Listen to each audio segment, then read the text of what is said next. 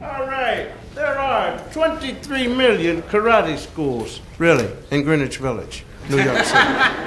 Mainly because of the fact that, well, after you've graduated from a karate school, there's no better feeling than walking around knowing that you can wipe out your whole neighborhood.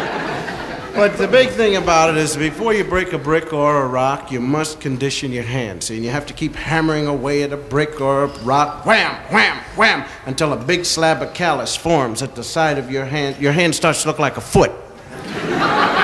Don't laugh. This is good because you keep your hand in your pocket for about nine days, and if some guy attacks you, you take a swing at him, and even if you miss, the smell will kill him. What you have to do, though, is you have to just keep hammering away. Wham, wham, wham. And you do this because it's very important. You can break a brick or a stick. Because if you're ever held up, some guy will say, Give me your dough. You just turn around, break a brick, stick, then give him your dough. Here you are. Thanks a lot for the money and the show, fella. But before you break a brick, you have to go give off a loud shout, see? This causes your glands to secrete and your froth at the mouth is, see? And then if you miss the guy, you can bite his leg, right? but the thing is, uh, just your!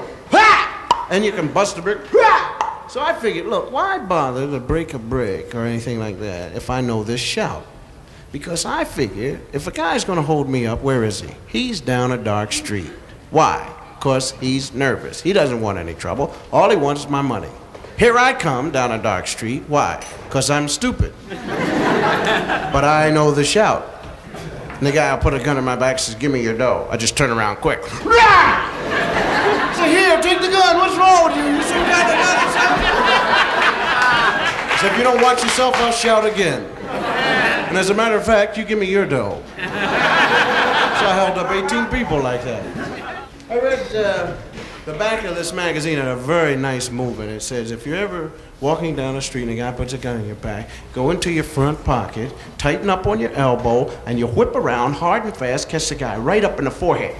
This knocks him back, you turn around, grab him, throw him down, pick up the gun, march him right off to jail.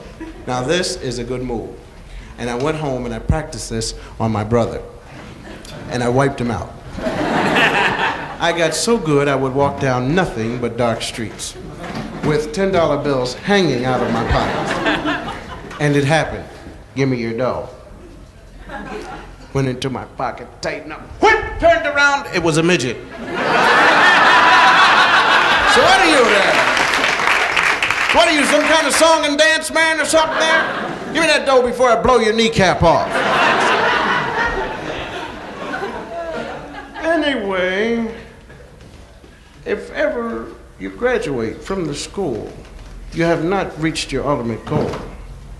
That is to get attacked. You must walk around looking passive. See, and you do that by walking weird looking. You know, and sure enough, some guy will say, Ah, look at that guy walking weird over there. Isn't he something there? He'll come over to strike. Remain passive. When he raises his arm, you grab the lapels of his jacket, drive your forehead through his. Then you come around quick, drive your hands down across the shoulders, breaking all of the bones in the shoulders and the rib cage. You come down, you rip off his right leg and his right arm. You beat him in the head with both of them. You put the leg back where the arm was, the arm back where the leg was. You cut him in half with the right hand swipe, go into his eye, pull them both out, grab the Adam's apple, pull that out, tie them both up into a knot, let them go back, and then you turn them upside down and you throw them up into a ball and you throw them down and you jump on them and then you walk away passively. See?